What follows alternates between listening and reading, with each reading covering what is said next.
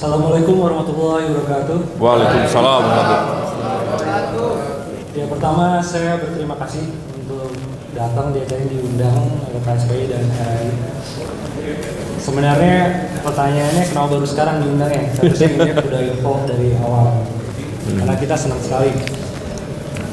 Membahas tentang teks amnesti ini sebenarnya kalau dilihat dari undang-undangnya kita bisa satu persatu lihat kesesatan berpikir. Ada falasi. Pemerintah yang bikin anggaran, pemerintah yang mendeklar kita defisit, dan pada akhirnya pemerintah juga yang bilang tidak ada jalan keluar lain yang bisa menyelamatkan Indonesia dari defisit anggaran, yaitu undang-undang pengampunan pajak ini, tax amnesty.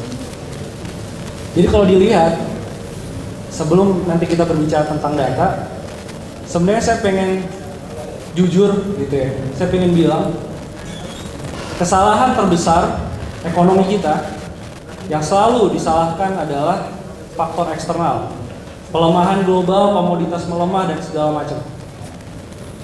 Tapi faktor paling utama, paling signifikan kenapa lahirnya undang-undang teks amnesti yang kemudian digugat oleh kawan-kawan dari serikat kerja, serikat buruh. Desain anggaran pada tahun 2015 ini bermasalah, fatal. Pertumbuhan ekonomi dicap 5,6 persen. Realisasinya sampai akhir 2015 itu hanya 4,8 persen. Asumsinya sudah ngaco, maka dari sisi penerimaan maupun belanja pun ini akan berantakan. Jadi mereka yang bikin anggaran sendiri, kemudian mereka yang mendeklar bahwa kita defisit, penerimaan kita tidak tercapai, tax amnesty merupakan jalan yang harus ditempuh. Jadi saya pengen membedah. Dan kemudian kemarin Mas e, Bang Rusdi ya bilang kalau nggak ada tax amnesty, kira-kira tahun 2017 apa nih? Saya pengen menjawab tadi tantangan tadi bahwa apakah kita hanya mengharapkan dari tax amnesty gitu kan sebagai satu-satunya jalan keluar yang ditawarkan oleh pemerintah atau selama ini sebenarnya pemerintah tutup mata. Ada kebocoran pajak di depan mata yang cukup besar. Saya punya datanya. Nanti kita akan lihat bersama. Dan ini sengaja dibiarkan. Oke, mungkin lanjut. Awalnya adalah perekonomian kita ini yang kemudian terus melambat kalau kita lihat secara triwulan. Ini kan sekali lagi yang disalahkan adalah ekonomi Tiongkok, ekonomi Cina, Eropa sedang melemah, terjadi gejolak deflasi dan segala macam. Sehingga pertumbuhan ekonomi kita kalau kita lihat pada tahun 2016 ini banyak yang merevisi tidak mungkin lebih dari 5%. Jadi tidak akan mungkin lebih dari 5%. Nah ini kalau kita lihat dari struktur perekonomian ini sendiri, ini juga terlihat permasalahan besar sengaja ekonomi kita dibiarkan. Jadi kalau ada yang bilang ekonomi kita autopilot, ya autopilot bener. Paket kebijakan sudah sampai 13, tanya kepada asosiasi industri. Gak ada dampaknya. Apalagi dalam 13 paket kebijakan itu tidak ada satupun yang kemudian berbicara tentang insentif bagi buruh. Insentif bagi kawan-kawan pekerja. Tidak ada satupun. Kalau ada pun berbicara tentang misalkan pembangunan rumah yang murah dalam paket ke-13, paket yang terakhir, itu juga yang diuntungkan adalah pengembang properti. Padahal katanya adalah menyediakan rumah murah untuk pekerja, untuk buruh, untuk kelas menengah ke bawah. Tapi faktanya ini diuntungkan juga properti. Jadi dari 13 paket kebijakan saja udah salah. Makanya kalau dia bilang siapa sebenarnya menguasai perekonomian kita, sebenarnya ekonomi kita itu nggak ada yang menguasai. Jalan begitu saja, tanpa kontrol. Pemerintah pun hampir tidak ada, ada dan tidak ada. Jadi kalau di nawacita adalah menghadirkan negara, negara itu tidak ada dalam perekonomian, gitu. Karena banyak kebijakan-kebijakan justru dengan negara masuk ke situ, ini justru berantakan. Gitu. Termasuk salah satunya adalah paket kebijakan. Nah ini yang perlu kita kritisi. Kenapa kemudian kebijakan-kebijakan negara ngawur? Sehingga pertumbuhan ekonomi kita kemudian turun, yang disalahkan adalah ekonomi global. Ini sebenarnya sesat pikir yang pertama. Next. Yang menarik nanti saya akan kaji lebih jauh adalah tax amnesty ini dalam tujuannya adalah menggerakkan perekonomian. Ekonomi yang bergerak, ekonomi yang mana gitu. Jadi tax amnesty itu kita bisa lihat dampak perekonomian secara nyata adanya di perbankan. Uang sampai sekarang masuk. Tadi terakhir saya lihat hampir penutupan bulan September maju ke bulan Oktober sekitar tanggal 6 itu ada 97 triliun uang tebusan yang masuk. Gitu. Ini mengalirnya ke mana? Sekarang masih ditahan di perbankan. Bahkan sampai 2016 nanti akhir masa periode kedua, ini uang yang kata ditargetkan 165 triliun ini masuk ke kas pemerintah, mandeknya ada di perbankan dulu. Belum yang kemudian repatriasi dari luar negeri. ya? Akhirnya yang terjadi kalau kita lihat sektor keuangan ini aneh. Ketika terjadi pelambatan ekonomi, industrinya nggak tumbuh lebih dari 5%, sektor keuangannya 13,51 persen. Ini logikanya saya coba cari secara ilmiah, logikanya di mana? Ya ini salah satu didorongnya adalah masuknya dana asing ke perekonomian Indonesia, tetapi mandek di sektor perbankan. Jadi menjawab pertanyaan Bang Rusdi juga, tax amnesty sebenarnya menguntungkan siapa? Dalam jangka pendek ini justru menguntungkan perbankan. Dan perbankan, sorry to say, karena dia bisa beralasan pertumbuhan kredit kita nggak lebih baik daripada tahun sebelumnya, sekitar 7 sampai 9 persen. Maka perbankan nggak mengalirkan uang tax amnesty tadi ke masyarakat. Boro-boro buruh nanti dapat manfaat dari tax amnesty. Perbankan menahan kreditnya, kelebihan likuiditasnya, uang yang banyak dari tax amnesty tadi tidak disalurkan ke sektor industri. Yang katanya dijanjikan tax amnesty akan memperbesar kemudian lapangan kerja dan segala macam. Itu tidak terjadi. Yang terjadi adalah perbankan sekarang bermain pada surat utang, bermain pada sektor-sektor finansial. Jadi dari segi undang-undang saja kalau kita lihat tujuan dari tax amnesty menggerakkan perekonomian itu sudah ngaco, sudah nggak terjadi. Kalau saya jadi perbankan, dapat uang banyak, likuiditas bertambah, dengan kondisi seperti sekarang, saya tidak akan menyalurkan sekali lagi ke sektor real. Jadi perbankannya gemuk, ini nggak masuk akal. Jadi gimana menjelaskan 13,51 persen pertumbuhan secara sektoral jasa keuangan paling tinggi, sementara industri gitu. dan sektor lainnya empot-empotan nggak masuk akal. Next mas. Nah ini sekedar bayangan bahwa perekonomian ke depan ini masih lesu. Dan saya ingin bilang bahwa dengan adanya tax amnesty ini yang mungkin uh, Bang Daeng bisa bisa dihitung ke depannya.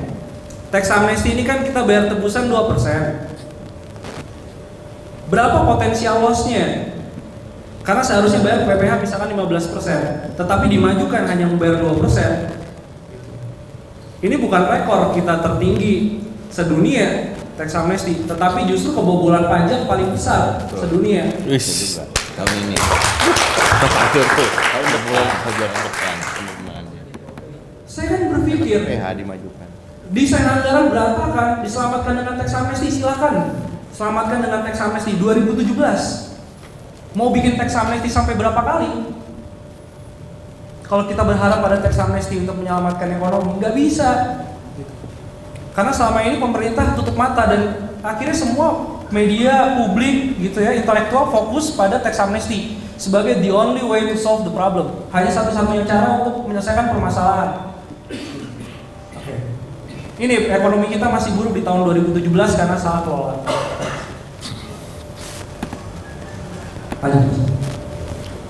Ya, lanjut.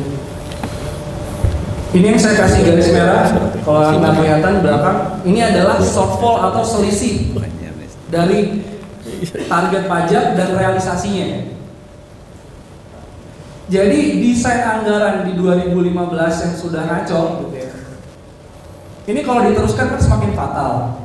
Jadi udah tahu ekonomi lagi lesu, tetapi penerimaan dan asumsi pertumbuhan ekonomi dinaikkan selangit. Karena apa? Karena kebanyakan orang-orang yang duduk di istana, orang-orang kabinet itu adalah orang-orang yes man, gitu. yes pak, yes bos. Pokoknya pembangunan infrastruktur digenjot, siapa? Pokoknya? Sektor maritim digarap, siap Pak. Pokoknya kawasan ekonomi khusus dipercepat pembangunannya, siap Pak. Duitnya dari mana? Nah itu urusan lain. Yang terjadi akhirnya apa? Akhirnya kalau nggak utang ya bikin tax amnesty ini. Dua hal itu. Kalau kita lihat shortfall atau selisihnya ini semakin lebar. Sudah sampai 235 triliun selisihnya. Ini yang tidak bisa akhirnya pada tahun 2015 Pak Sigit ya bilang, oh, sorry saya nggak kuat lagi, saya mundur Dari Dijen Pajak. dari Dijen Pajak mundur karena saya nggak kuat lagi. Yang salah bukan Dijen Pajak ya jangan-jangan, tetapi yang membuat APBN. Termasuk di situ perdagangan politiknya dalam APBN itu cukup luar biasa. Sehingga bisa ngaco seperti sekarang. Next.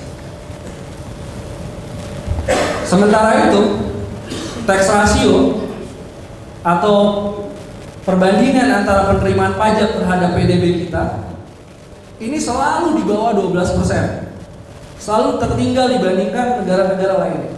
Artinya sebelum ada tax amnesty, kayak tadi Bang Daeng datanya nggak jelas dan segala macam, saya setuju. Sebelum ada tax amnesty, seharusnya ya kan, basis data dari pajak ini diperkuat dulu. Jadi kenapa orang-orang berbondong ikut tax amnesty? Ini bukan ikut arus, ini bukan ikut media, tetapi mereka terancam.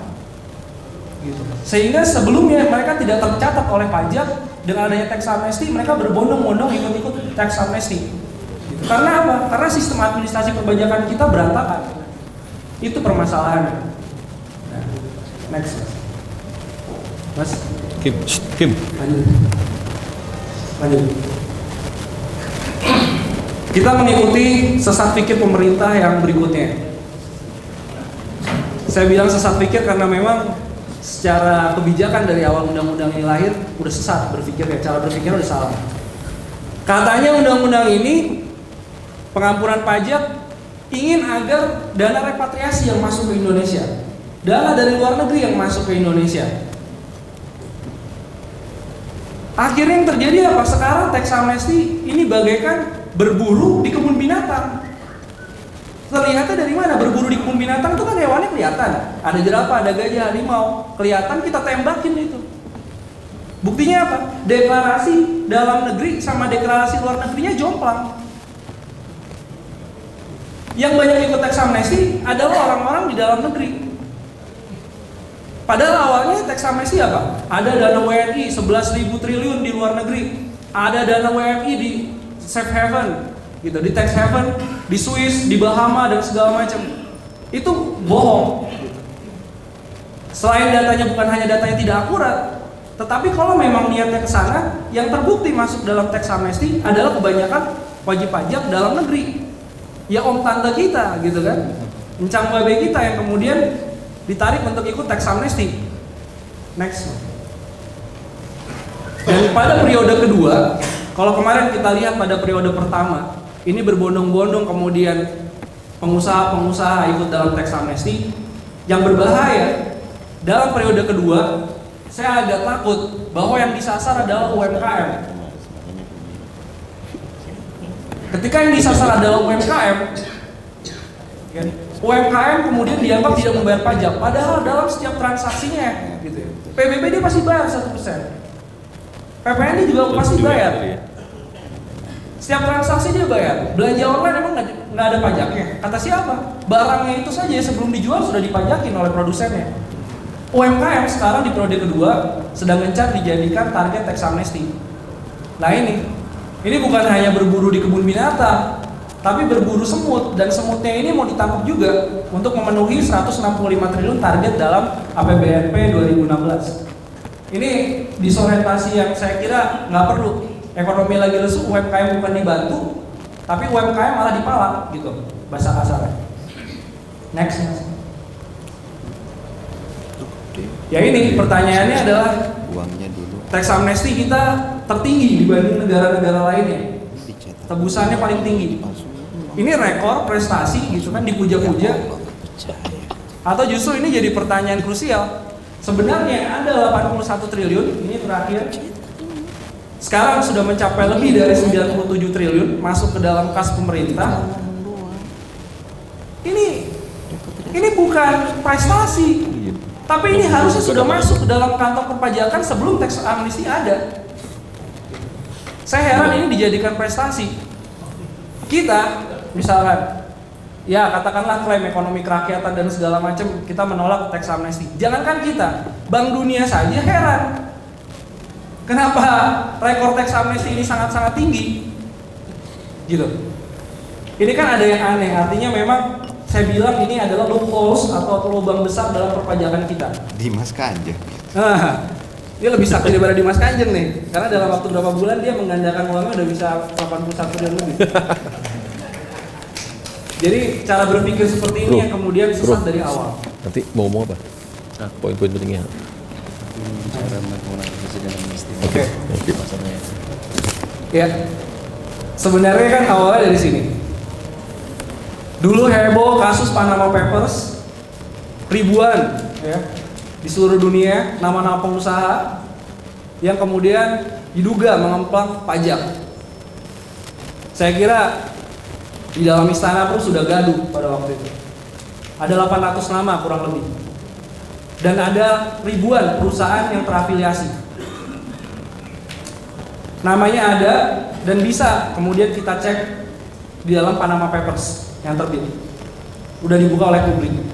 Ini aneh, di negara lain di Islandia perdana menterinya mundur gitu.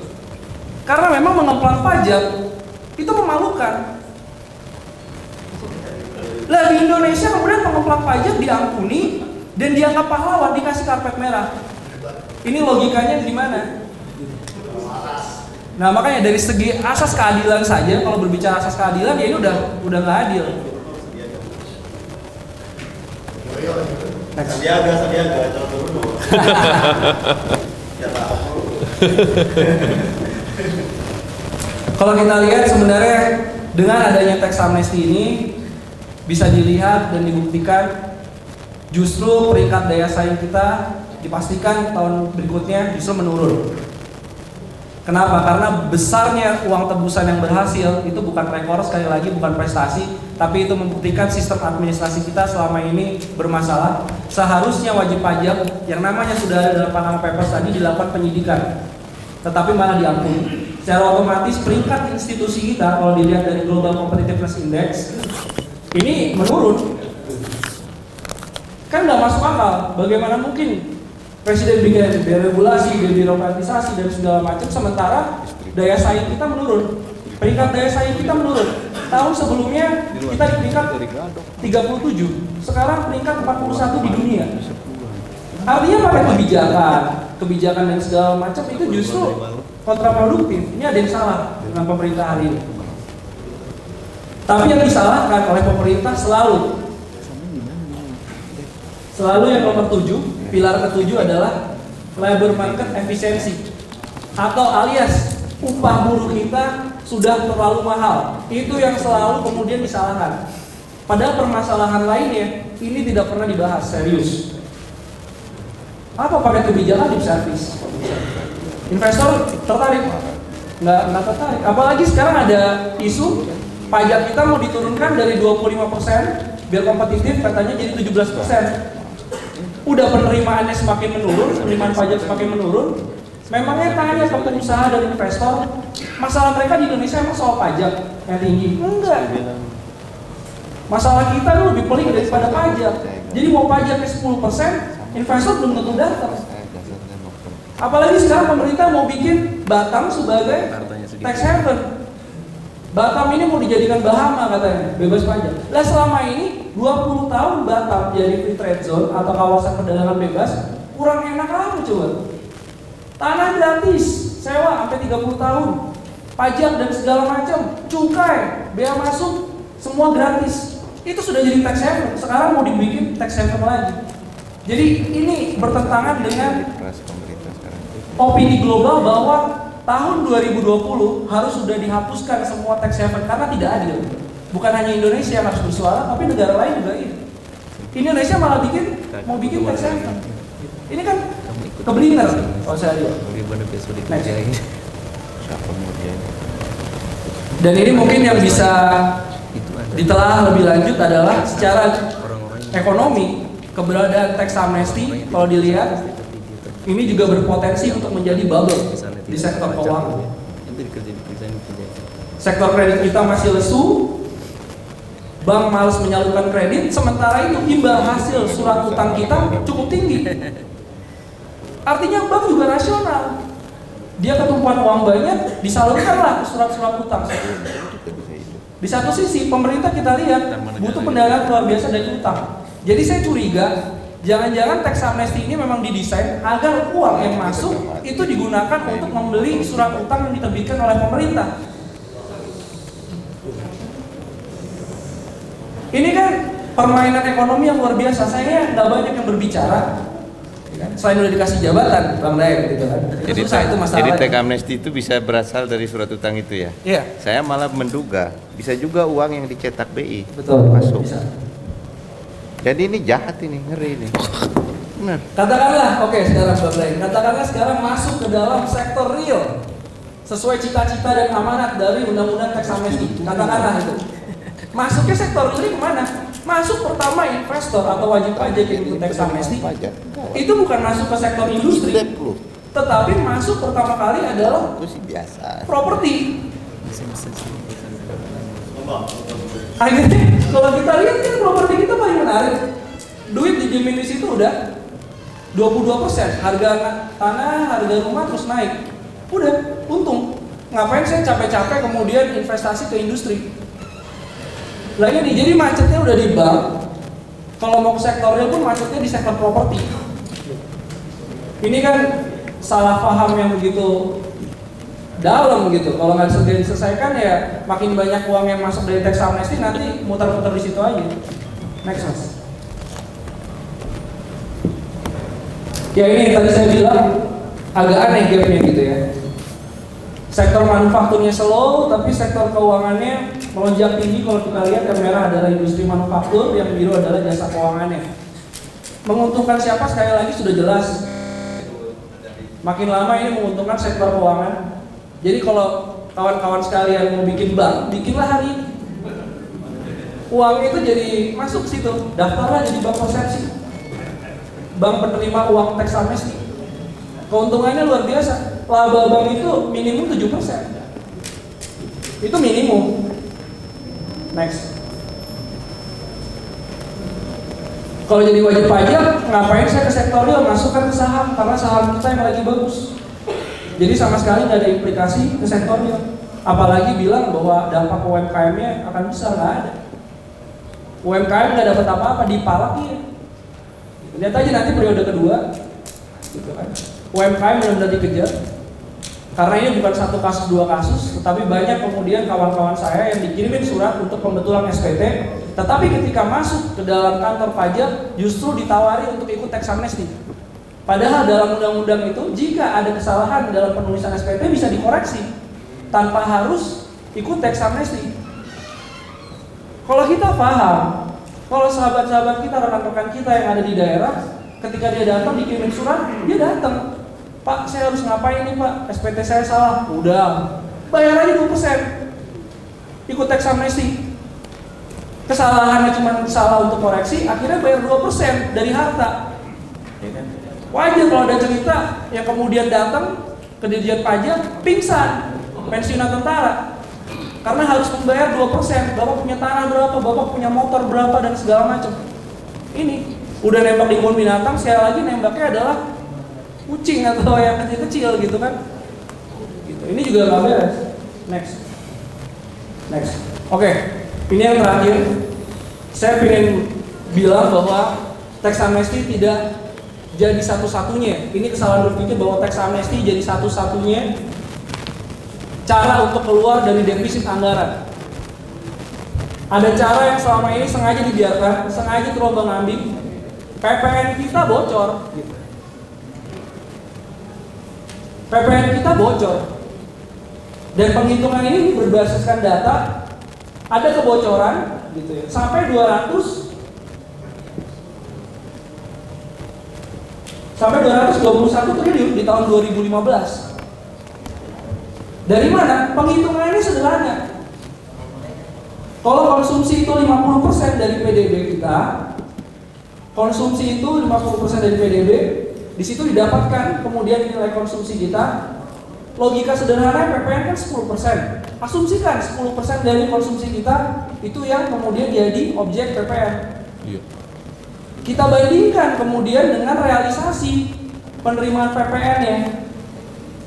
Saya data dari tahun 2003 sampai tahun 2015 tingkat kebocoran ini semakin meningkat. Tadi pagi kebetulan sebelum sini saya berbincang dengan Pak Gito Abimanyu gitu ya. Kebetulan Indef lagi adakan workshop perpajakan. Dan dia mengiyakan bahwa memang ada polemik tentang kebocoran PPN ini. Jadi artinya ada sumber penerimaan yang sebenarnya besar, tapi nggak digarap. Kenapa? Next mas. Salah satunya adalah tiga alasan ini. Katakanlah alasan pertama, di mana UMKM atau perorangan yang kemudian punya 4,8 miliar omsetnya itu di exclude dari pengenaan PPN. Oke. Tapi ada alasan nomor 2 dan nomor 3 faktor ini yang kemudian berpengaruh. Banyak produk di exclude dari PPN. Kalau kita baca undang-undang dari PPN, daging sapi itu atau makanan, bahan makanan itu di exclude dari PPN, tidak dimasukkan ke dalam PPN kita. Ya kalau saya makan daging steak,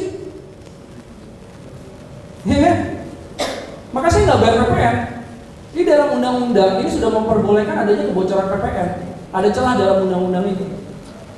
Dan yang lebih berbahaya lagi adalah alasan yang ketiga. Banyaknya kemudian faktur fiktif. Banyak pengusaha melaporkan fakturnya, iya, tetapi tidak berdasarkan transaksi yang nyata dan tidak dilakukan verifikasi. Makanya sekarang kalau dijen pajak bikin e-faktur, e-apa dan segala macam. E-faktur itu kan cuma sistem ya. Tetapi transaksi yang dilaporkan siapa yang tahu? Nah kebocorannya udah 220 triliun. Ini akan terus meningkat. Kalau ini diatasi, ya kan? kita nggak perlu ribut soal tax amnesty, nggak perlu kemudian ada ide tentang tax amnesty. Karena 220 triliun ini cukup besar gitu ya. Ini cukup besar dan bisa masuk langsung ke kantong, tapi ini dibiarkan. Isunya turun naik, turun naik. Jadi saya kira ini juga yang harus diperjuangkan oleh kawan-kawan sekalian bahwa PPN kita bocor. Pemerintah cobalah membuka mata dan serius membenahi ini.